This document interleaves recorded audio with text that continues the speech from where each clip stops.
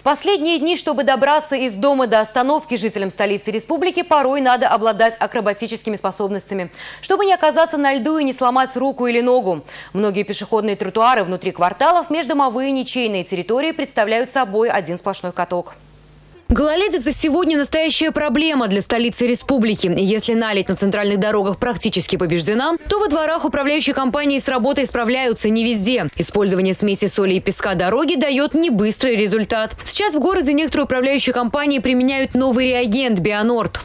Пробуем мы новые препараты, а, которые в этом году, в прошлом году начали использоваться.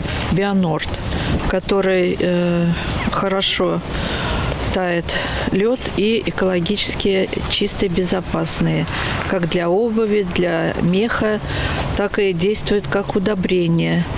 В весенний период э, тает лед, и это, этот бионорм уходит в землю и не вредит почве и растениям.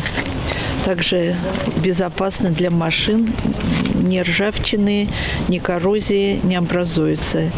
Сейчас управляющие компании используют бионор для очистки от льда подходов к подъездам. Материал не дешевый по сравнению с песчаной солевой смесью. Но плюсов у него гораздо больше. Он не пылит, не забивает стоки, его не нужно убирать, поскольку гранулы растворяются. Он начинает действовать спустя 40 минут при обычной погоде и через 3 часа при обильных снегопадах. А затем разрыхлившуюся массу можно убрать.